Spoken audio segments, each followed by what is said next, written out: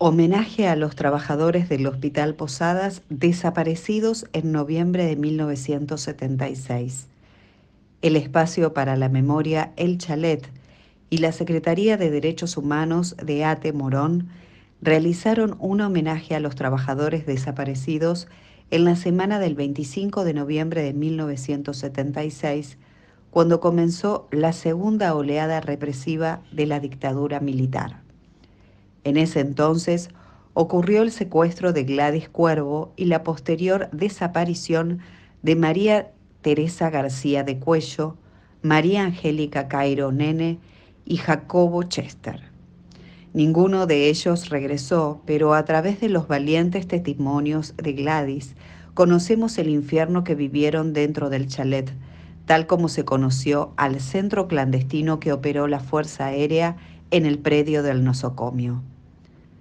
En el aula magna del Hospital Posadas disertaron el abogado Pablo Yonto y la periodista Luciana Bertoya.